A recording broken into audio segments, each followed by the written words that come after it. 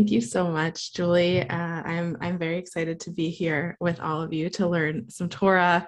And uh, before I get started, I I know many of you are very ex- experienced in the Mind Learning Torah study, but I'll say some of my own kind of ground rules, rules and philosophy just to to get us started in a way I hope that will participate. And um, I know there are a lot of us here, which is incredible so exciting um, to be with all of you. And and so it is i find it you know in, in groups of the size it might be a little harder to do some discussion but i do really want to hear from you. And so i encourage you there'll be times where i stop to ask questions and if you feel comfortable and you want to unmute, you know, I'll take a few of those. Um, and if you want to write in the chat, maybe if it's a little scary to speak in front of all these people, which I totally identify with, um, feel free to write something in the chat. Or if you're even feeling maybe self conscious about everyone seeing the chat, you can just write it to me and I won't read your name out loud, but if there's something that it feels like relevant to bring into the discussion, I might read a piece of it.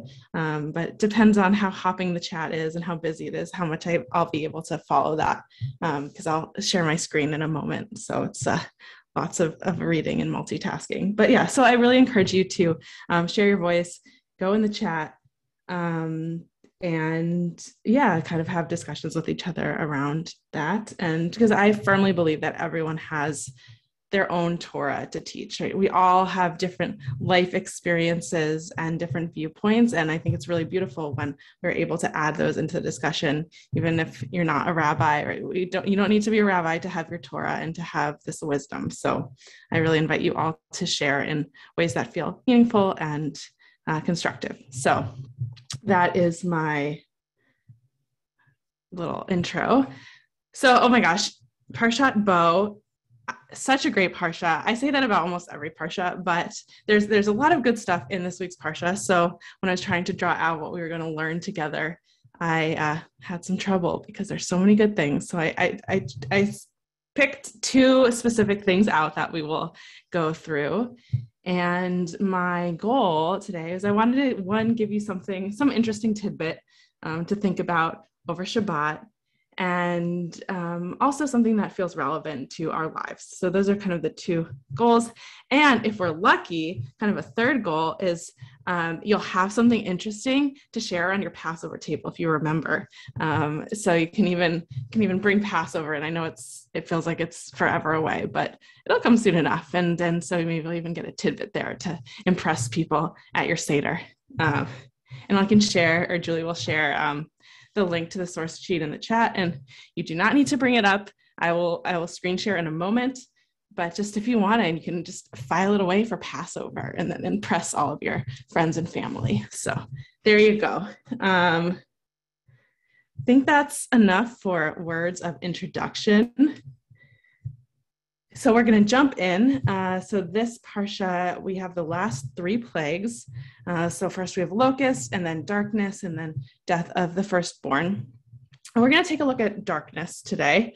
Um, I always kind of wondered, especially growing up, when we read through the 10 plagues, and you think about, I would think, okay, the 10 plagues are probably know, getting more and more intense as they go on, right? So the first one was a little bit mild, and then okay, it's kind of escalating and escalating. So why is darkness the ninth plague, right? Like darkness, I don't know. I experience darkness every night when the sun goes down. Most people do, unless you're living on like the North Pole or the South Pole at certain times when the sun doesn't set. But darkness is a pretty common occurrence. So what is it about this darkness plague that is so severe, and what is kind of the nature? Of the darkness plague. So we're going to take a look at that. Um, I am going to share my screen and take a breath because I just was talking really fast. I will slow down. Okay, here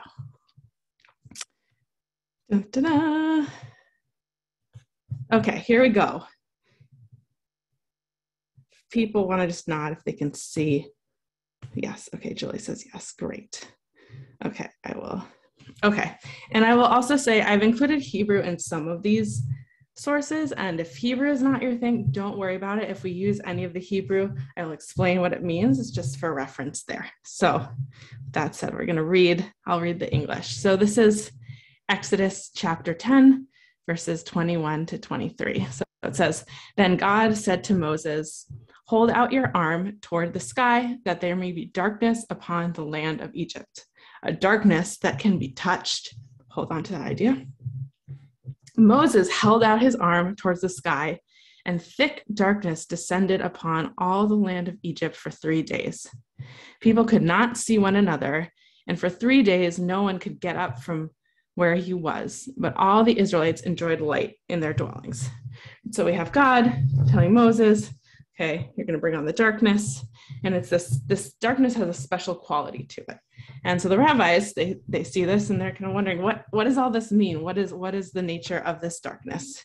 So first, of course, we have our special commentator, Rashi. Um, and so he picks up on this, this phrase in the in um, Exodus 10 21. I'll just go back up. Sorry, I'm scrolling a lot. Um, so here, Vayamash, Vayam Esh, Vayam Choshech, right? So, um, so what's what's that mean?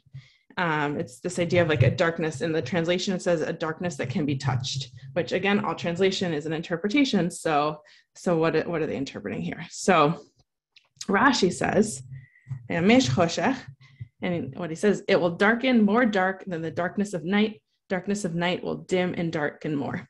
Um, and so if you see in the Hebrew here, I've, I've highlighted this word ya'amish. Um, so what Rashi is saying here is that vayamish, this one, is actually like the word ya'amish, um, which means to darken, and it's taken from the root emesh, which is aleph mem shin, which can mean, which actually in modern Hebrew means last night. Um, so it's something to do with darkness. And in this form of the verb, it's a dark, it's making something dark. So it's making it extra dark. Um, and so he explains, like, why is there a missing aleph? Okay, he's very being very thorough. He says, Yamish means as much as is a contraction of Yamish, right? So it's this darkness we have many words in which an aleph is omitted, since the sound of the aleph is not very marked. Scripture is not particular about omitting it. So, and then Rashi goes on to list a bunch of examples of why, you know, there's a, a verb where the aleph should be there and it's missing. So, okay, this is like a normal phenomenon and that's what it means. But of course, there is another interpretation of this word, vayamish, choshech. Um, and it says a midrashic statement explains that it is in the sense of mashesh, which means like groping or touching, kind of from like mamash as well, if that's a familiar word to you. So that the meaning would be that it was of such a double character and so thick that there was something tangible in it. So think about, I don't know, like kind of do a visioning of like, what is darkness? Um, it's this darkness that it's not normal night darkness, right? It's darker than that. Um, and it's something that can be felt uh, I, I, was I've been trying to kind of envision what that would what, what that would be like to like feel the darkness. Maybe it was some kind of mist or something. I'm not sure if other people have uh, thoughts that you want to share in the chat of what um, that darkness. They're blinded. Darkness is the absence of light. Yeah, no light. But what does it mean to touch? Oh, I see something about smog. London experienced four to five day great smog. Yeah, yeah so it's it that can be touched yeah that like pollution and dark and the ash um yes. Okay i see some great comments. I'm going to try and read some of them out loud. Oh yeah thick smoke. Uh-huh. Um a light could mean the absence of goodness. So we're going to go on. We're going to we're not done with darkness just yet. Yes. A blanket. Oh interesting. Yes. Um black fog. Yes. Okay. And and there are there are lots of different interpretations around what the plagues mean and what they were trying to do. And there's definitely one kind of line of thought that says, okay, the each plague is to go up against one of the Egyptian gods. And so the sun god was one of the main Egyptian gods. So by darkness, you're saying, okay, like if God can control light and dark and make it totally dark, God is more powerful than your sun god.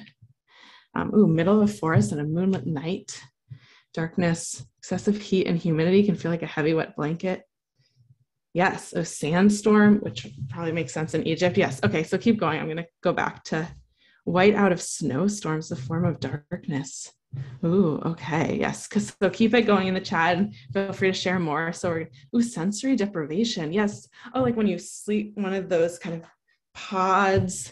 I always wanted to do that. Ooh, maybe we should all, maybe that should be our homework. Let's all go experience darkness in one of those salt pods, if it's safe where you are. Um, okay, great. So I'm gonna keep going a little bit and then I will also pause in a little to take um, actual comments um, out loud, but please continue to write in the chat and thank you all for sharing that. Okay, so we'll keep going. Okay, so now we are at oh, this, this spacing, I don't like it. Here we go, gotta get it all on one page. So this is from a Midrash, this is Midrash Tanhuma on the same verse. I'm just gonna move the chat box away. So um, again, says this is the original verse quotation? Stretch out your hand towards heaven that there may be darkness. Um, and so they're asking, okay, where did the darkness come from? What's the nature of this darkness, right? So maybe let's see if any of them agree with some of your ideas. Um, Rabbi Judah and Rabbi Nehemiah discussed this question. Rabbi Judah held it descended from the darkness of the upper regions, as it said.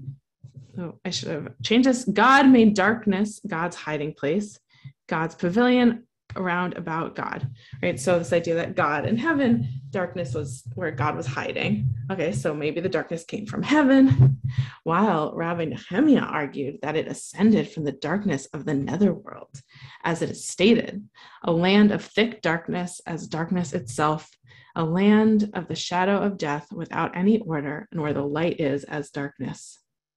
Um, so, right, so both so there's kind of something almost supernatural about this this darkness. And so rabbi judah says it's coming from from heaven from the upper regions it's coming down. And then rabbi is like no it's not coming from it's coming from the nether region right sheol um, that that this this land of darkness. Um, so there you go it's just another view. Okay so now i have ramban um, and he's also commenting, and he's commenting on this piece of um, they saw not one another, neither rose any from his place. The meaning thereof is that this darkness was not a mere absence of sunlight where the sun set and it was like night. Rather, it was a thick darkness, that's a quote, that is to say, it was a very thick cloud that came down from heaven. Okay, so Ramban's like team cloud, uh, team mist. It is for this reason that God said, Stretch out thy hand towards heaven, to bring down from there a great darkness which would descend upon them, and which would extinguish every light, just as in all deep caverns and in all extremely dark places where light cannot last, as it is swallowed up in the density of the thick darkness. So we have nice cave imagery here. Similarly, people who pass through the mountains of darkness find that no candle or fire can continue to burn at all. So, side note, mountains of darkness, you can find them in, in the Talmud, and uh, the kind of rabbis are assuming they're somewhere kind of in Africa, but they hadn't really been to Africa, so they didn't really know what they're talking about. But so there are these mountains, there, there's mythic mountains. It's not super important. So these mythic mountains that are very tall, and so maybe it's you know altitude and someone can probably I, I, feel like there's someone on here who can verify this or not but if you're at really high altitude where there's less oxygen is it harder for things to burn up? Or like can you burn can you have fire in space with an absence of oxygen? Um, so kind of that idea. I imagine so because fire needs oxygen to burn so right so this this high altitude where you can't light a fire because there isn't enough air for it so that's kind of what this darkness is like and that you can't puncture it um, yes, okay, similar. Da, da, da. Um, it's for this reason they saw not one. Sorry, I'm here. Uh, it is for this reason that they saw not one another, neither rose from any place, for otherwise they would have used the light of fire. This was not the usual absence of daylight above, but an extraordinary darkness as well. It is possible that this was such a very thick cloud that there was something tangible in it, as our rabbis have said, and as indeed it happens on the Atlantic Ocean, as Rabbi Abraham ibn Ezra testified. Um, so that's also, I feel like Ramban here gave us a bunch of possibilities of what it could be like. So there's that idea of mist, of a cloud, of being kind of high up in this darkness on a mountain. I'm Just gonna take a moment to look at the chat. Okay, yes, lots, lots of good things here, lots of great uh, comments. I'm just I'm going to take us off a little bit off track or side note, not off track, but uh, so I'm not going to get them all out loud right now. But yes, please continue sharing and thank you for adding your thoughts. Okay, so we're going to take a side note about this nature of darkness. So we've talked about what it might be like, um, and we're going to get a few other different opinions. So um, here, and, and, I say spoiler alert because this is from next week's Parsha, but don't worry, I won't go into it too much because I don't want to ruin it for you. But this is actually just two verses after Bo ends. So this is in Parshat Beshalach. So it's, you know, Bo ends at chapter 13, verse 16, and here we're in chapter 13 verse 18 and and it's interesting i think i think about this a lot actually is how we've you know divided up the torah into torah portions which are divided thematically but there also is a lot of connection between. So sometimes when we only study the parsha we kind of miss some of the connection. So i wanted to just bring in a little bit if you will humor me. Um, and so this is from 1318 so it's god leading the people out to freedom. So it says, So God led the people round about by the way of the wilderness at the Sea of Reeds. Now the Israelites went up armed out of the land of Egypt. Okay, so why is this significant at all? Well, great question. So it's because of this word. I highlighted it in the Hebrew. Here, I'll highlight it again. It says hamushim, right? So hamushim, which they translate here in the English as armed, but there is some debate about how do you translate this word hamushim. It's an un, it's a, a strange word. That what's going on here? And so hamushim sounds like the word hamish, five. Um, and so there are some midrashim that pick up on this idea of five, and they say actually it's because only one in five Israelites actually left Egypt. It's really interesting. Or one in five were killed. So we're going to see here. So it says hamushim um, oh, armed and humash have the same consonants. Yeah, well, yeah, exactly, Joseph, because humash um, is taken from the root for five, right? Because humash is also like in Greek, I think the Pentateuch is the first five books of the Torah. So that's why it's called the humash. It's five, hamushim. So good connection, right? So they're seeing this connection with five. So they say Hamushim went up from the land of Egypt. So this is the Mechilta de Rabbi Ishmael. So what do they say? One out of five would have been there. So one out of five left, right? So that's 20%. That's a low percentage. Um, others say one out of 50, right? So they're, they're again, like five, 50, 500, these all have the same root. They're going to sound, sound similar. One out of 50 went out, went out of Egypt. So that's the vast majority, right? That's what 98% of the Israelites actually stayed in Egypt, according to this person. Others say one out of 500.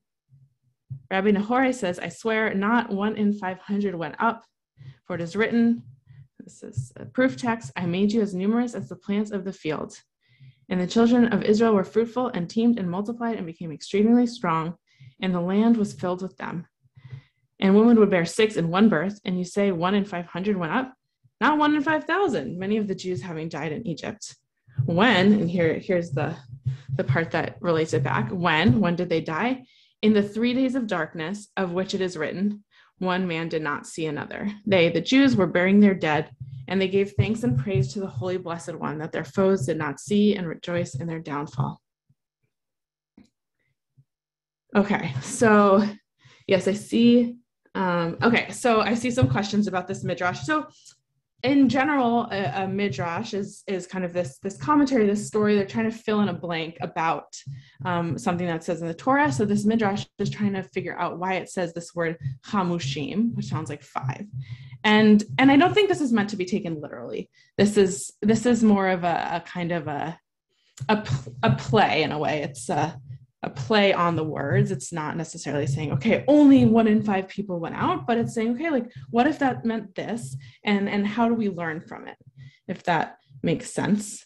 Um, and and actually in a lot of other ones so so next week when you're studying the parsha um, you can look at different interpretations of this as well and you'll see that a lot of people actually disagree with this interpretation they they are not having it um, but again this is not a, a, a class on next week's Parsha. So I just signaled out the one that um, that kind of went to what I thought was relevant here. But so so a lot of people say everyone left Egypt, or only a few people stayed behind. But uh, here we have this, and and what they say is that they they died, and, and other people are saying that's because they were wicked, or there were a lot of Israelites who just didn't want to leave. Um, and and when, according to this midrash, which again is not the truth or the only way to read this, definitely not. Um, they say they they died in the three days of darkness, um, which is the plague we were talking about. And I included this in here because it hints to me that the darkness here was actually something a lot more intense um, than than we might have first thought of, right? That that oh my gosh, if all these Israelites are are dying, at least according to this one midrash that day, that there's something else going on here. Um, and right, and I think we, we have hints, and we can think about what we think it might be. Like, what is so hard about this darkness? Um, right, darkness as despair. Exactly. Um, yes. So so yeah. So there's there's something happening here in this darkness that that is that's really difficult and it's also difficult for the israelites even though it talks about the israelites having light in their dwellings so there you go okay so now so now i want to bring in some of the more modern commentaries on darkness and again thanks to rabbi sari Laufer, who um, i found these um, because of her and and i like them and and i think that um, this also to me hints back to why the darkness might have been so hard, these, these uh, two texts. So I'll read them and then we will pause. So this is from Even HaEzel, who is Isser Zalman Meltzer from, he can see when he lived. Um, he said, so that again, we have the original text. They did not see one another, neither did any rise from their place for three days. The greatest darkness is when a person does not see their fellow and does not participate in the distress of others. They did not see one another means they did not feel the other's distress. Their senses were dulled. Neither did any rise from their place. I think these two go together, so I'll read them together. And so Eshkol Ma'amarim, which is a collection of these Chabad Hasidic teachings, says there's a thick darkness, and they did not see one another for three days. If a person does not see their fellow or does not want to see him, there is darkness in the world. Right? And so I don't think this is about, because I was thinking about, you know, I don't think this is about us just social distancing, right? I don't think that's that's what they're talking about here. It's it's something more, right? It's and and again, I'd love to hear in the chat or, or to hear your comments in a moment about about um, what you're taking from these texts, right? It's about kind of a lack of of of empathy, right? He says does not participate in the distress of others, and that is what is showing darkness. Um, right it's it's it's about not seeing and i think seeing they're taking it it's a metaphorical seeing it's not like oh i don't see you it's a i don't understand you i don't perceive you in a way i don't see what your needs are i don't see that you're suffering um and yeah this and i think it's also maybe a little bit about loneliness um so, okay, I see a lot of things in the chat.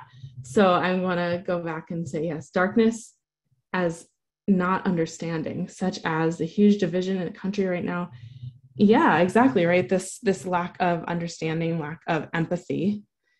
Um, yeah, hopelessness. I think that's definitely in here. That darkness, that hopelessness, right? That all these metaphorical darknesses, um, darkness in our world due to COVID restrictions. I mean, I think there's definitely a loneliness right, that it's the and and I think necessary. I mean, I don't want to get into public health discussion here because that's not my expertise. Um, but yeah, there's definitely a, a loneliness, and and I think that right this plague of darkness almost points us to needing to make sure that we are connecting with people even if we're not physically in their presence how do we connect with people and how do we connect to others suffering and distress and have that empathy um, yeah, it's like we see something bad going on in the world and we ignore it. Yeah. Um, yeah, like yeah. So so a lot of you are raising really great points in the chat. Um, okay, I see people's hands up. Um, so okay, so we'll go Aaron and then here. I'm gonna stop screen sharing for a sec so we can all see each other better.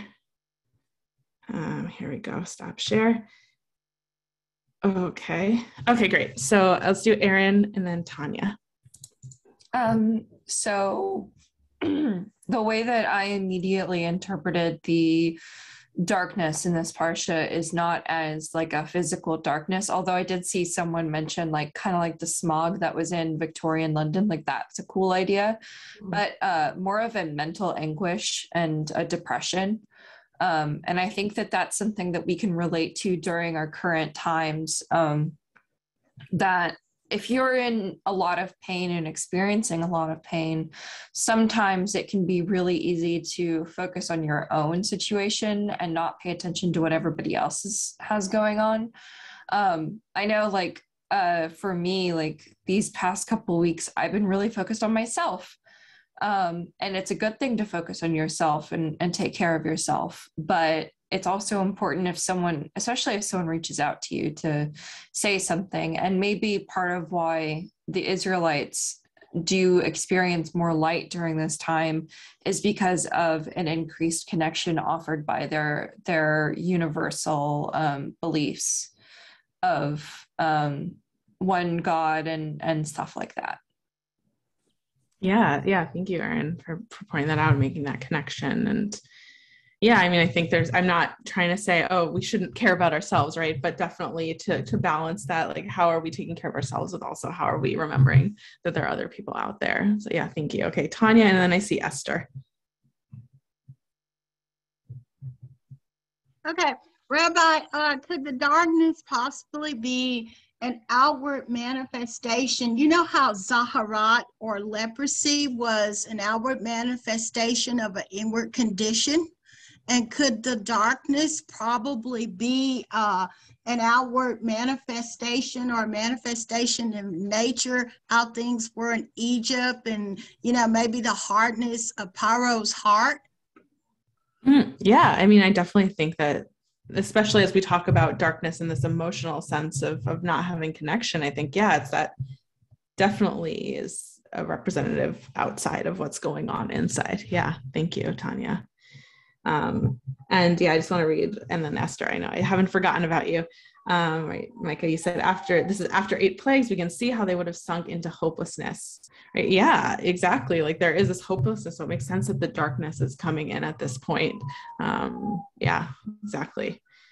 Okay, uh, Esther. I actually have two comments. Okay. The first one, I like to connect the song Az Yashir Moshe to what you were talking about numbers. They said that only one in five left Egypt. And so that's why the song of Az Yashir is in the future and not in the past, because each and every one of them was in a dark place because part of their family or friends remained in Egypt. And that's why they sing like for the future in the time of the Mashiach. The second thing that I wanted to comment on was the opposite of dark, first of all, I see three levels of darkness of, of the three days because it can be dark, but you can still see some, but the darkness intensified. So I think it's three.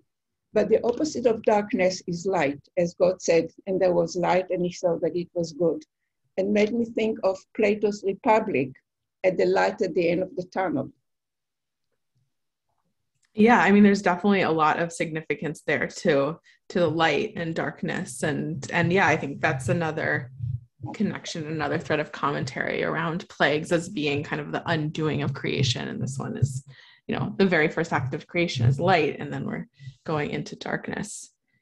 Um, yes. Uh, okay, so many great things in the chat. Okay, so now I'm going to make a very uh, abrupt transition, which is appropriate because the same thing happens in the Parsha. So, um, right after the ninth plague, we get the tenth plague, which is um, death of the firstborn. And so God's saying, okay, this is what's going to happen. And, and the Israelites get ready. And it's like very suspenseful. And then before it happens, we get this phrase dot, dot, dot, suspense. I'm going to share my screen. Um, boop. Okay, here we go. So suspense, suspense, suspense. This is Exodus chapter 12, verses 1 and 2. So we're waiting for the 10th plague, and here we have God said to Moses and Aaron in the land of Egypt, This month shall mark for you the beginning of the months. It shall be the first of the months for the year for you. Okay, and then we get a whole kind of calendar and, and talking about Passover. And we get a lot of laws. So it's kind of interspersed, like right in the middle of the story, we get kind of a, a little break. It's a very dramatic break, and, and we get the, the first Passover. But first, we get this commandment, which is about Rosh Chodesh, the new month. And um, yeah, and this is actually the first commandment given specifically to the Jews. So we have a lot of, we have some commandments given before, right? We have you know, from first commandment in the Torah about like p'ru u'rvu being fruitful and multiplying, which uh, someone I know translated as, and I'm forgetting who it is, so I apologize, um, but as being fruity and fabulous, uh, which I think is more fun. Um, but so we, there are different kind of commandments that we have gone earlier that are more universal, and this is the first one to the Jews or the Israelites, right? And so it's you have to mark time which I think is super interesting and cool. So we'll, we'll get into that briefly because I know we are watching the time. So we're going to take us back to uh, Rashi on Genesis chapter one, went all the way back, and and uh, he brings up this verse about it being the beginning of months, marking the month. So he says, he's quoting. Rabbi Isaac said, The Torah, which is the law book of Israel, should have commenced with the verse, this very verse, the month shall be unto you the first of months, right? Which is the first commandment given to Israel. Okay, great. Just said that. So you can see that I didn't make that up. Rashi says it too. and what is the reason then that that it commences with the account of creation? Because of the thought expressed in the text, God declared to God's people the strength of God's works. And and he kind of goes on to say, okay, why? Right? There's it's a good question. Okay, if the Torah is the book for the Jews, um, why doesn't it start with something with the laws that are specific to Jews. Why do we start with creation? Why do we go back that far? We could just start here. And I mean, I think there's the the practical answers like, well, all, a lot of the good stories are in Genesis, so I'm I mean, I'm glad it's there. Um, but it's also about, I mean, so Rashi's answer is kind of to say, oh, because God created everything to show God's power and God's kind of universality. And um, but yeah, it's also the universal versus the particular. I think this is Rabbi Art Green that talked about um, how it's saying, okay, we're connected, right? It's not just about the Jews, it's about all of us, and we're all connected. We are all created, you know, from this one person according to the story. But it's about to to just highlight that um, that we do have a common ancestor, things in common, that there is that universality. And now we get to the particular as well. So we kind of have both here. Um, so I think it's like just an interesting question, an interesting thing to ponder of, okay, could have started the book here, but instead we started um, way back in Genesis.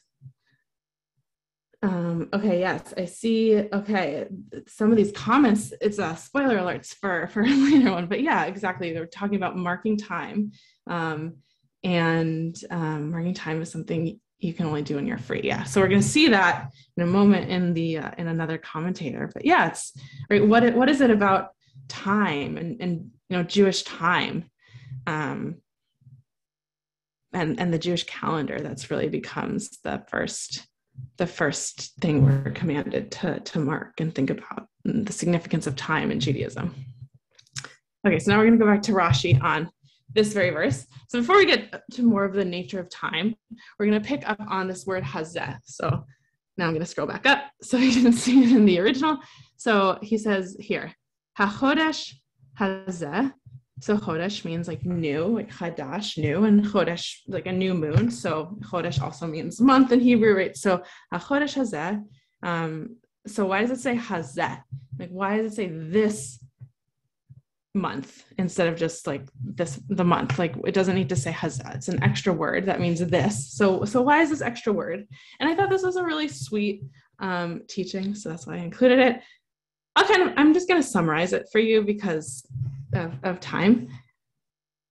Um but yeah so basically what they're saying is moses was confused. What what did god mean about like this new moon? Because of course back in the day you would declare a new month when you saw the new moon. And what did that look like? And how do you do it? Moses had a lot of questions. It's like what how does this work? I'm new to looking at the moon. Can you help me? And so this this midrash or this this commentary that rashi is citing says well actually god waited for it to become dark and showed moses. And he was like this this is what the moon looks like. And I just thought that was really sweet, um, kind of experiential education moment where Moses wasn't sure and God pointed out, like, this is what you need to look for. I don't know. I just like that. Okay. Um, so that was the Hazeh is God saying like this, look at that, look at that moon. That's what you need to look for for the new month. Okay. Oh my gosh, lots of things in the chat. Um, wow. Yes. Okay. And people still have, yes. Oh my goodness. Okay. Great. I love it all. Please keep going. um, it's hard to, okay. So here we have uh, our last one. So this is Sforno, another commentator on the same Exodus 12 2. Said, From now on, these months will be yours to do it as you like. This is by way of contrast to the years when you were enslaved and you had no control over your time or timetable at all. While you were enslaved, your days, hours, minutes, even were always at the beck and call of your taskmasters. Right. So again, this is what uh, some people already wrote in the chat. Maybe you intuited, um, but yeah, it's about it's about freedom and, and being free. Part of being free is being in control of our own time. So the Israelites couldn't mark the new month and, and do those things to celebrate when they were slave when they were enslaved because they weren't able to mark their own time. But now, as they're well, they're not even free yet, right? They're about to be free. This is remember, it's we're at the tenth plague. Um, so this is almost looking into the future and, and, almost giving them a sense of hope, right? Say, okay, your time's about to be yours. Uh, so what? So what are you going to do with it? which I which I think is cool. Um, kind of a maybe giving them that sense of hope, especially after the plague of darkness. There's like, a, okay, we're we're getting to the end here. This is this is something you need to prepare for. Your time is going to be your own. And um, yeah, so I guess my kind of final question around this, and I'm gonna um, stop the share is just to think about um, this way of uh, that Sforno kind of highlighted is that to be free means to be in control of our own time. And I know for me, I don't always feel in control of my own time. I think, you know, lots of things with work or um, maybe family obligations that I haven't entirely chosen, but are things that I have to do. Um, and so thinking about how you know what are some ways that we use our time that help us to feel free um, and also i think i mean this is a great example you all took I don't think anyone's requiring you to be here and you all took the time to say, you know what, Friday's at 1030 or whatever time it is in your time zone, maybe 7:30 a.m., whatever. Um, I'm going to learn some Torah, um, and I think that's a really amazing thing. And um, I'd love to hear either in the chat or if you have, um, if you want to make a brief comment. We have a few more minutes um, to to mention about time and and kind of time as freedom and and how this first commandment that the Jews get is around time. Um, oh yes, okay, we got some great chat question, chat answers. Um, right, it's interesting how prisoners mark their time waiting so they can become free. Yeah, there's like that countdown um, time is what Heschel sees as Judaism's key gift, especially the demarcation of time that is Shabbat. Yeah, Shabbat's huge, right? This idea that we can stop work and that being one of these ultimate symbols of freedom. I mean, even in you know Friday night Kiddush, when we say the blessing over the wine, and we say, um, you know, we're commemorating creation, yes, but also the freedom from Egypt. And why? Because we have the freedom to stop work and to have this time as our own. Um, yeah, anyone anyone else? I don't see, I can't see all of you on one screen, so I don't know if people have hands. Oh, yes, okay. If you want to raise your hand, it's down under the reactions button. Um, but I can only really see people on the first screen as well, so it's hard to.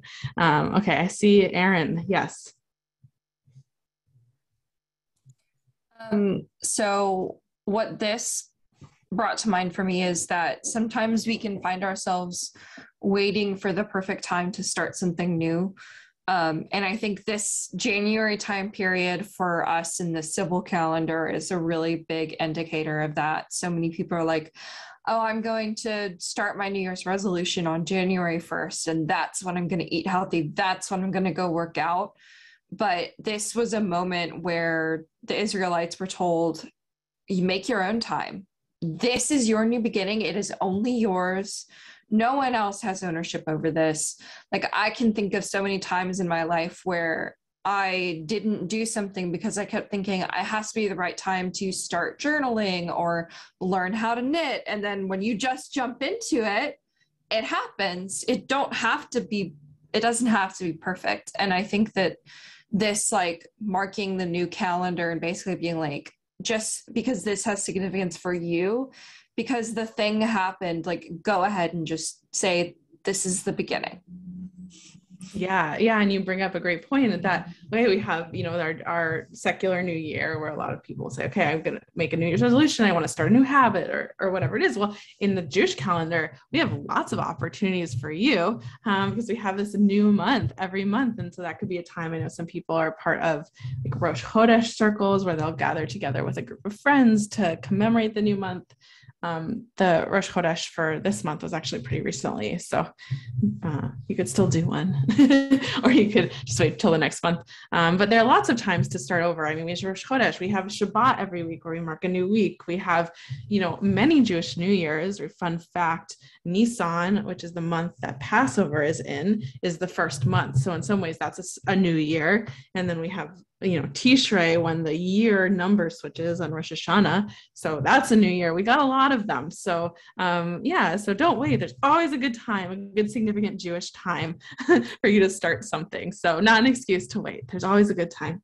Um, yeah and i see something. Covid showed us how to stop and the great resignation. Yeah right this idea of to saying hey you know this job isn't working for me um, and i'm going to take my time back and i'm able to. And, and that's definitely a sense of of freedom there. Tu B'Shvat, of course how can i forget Tu B'Shvat new year for the trees that's coming up. So you know what? If you made a resolution and it hasn't been going so well very soon you can just start over again because you have the new year for the trees. So that's great um, especially if you want to do like a nature related uh, resolution um, okay, well, I see our time.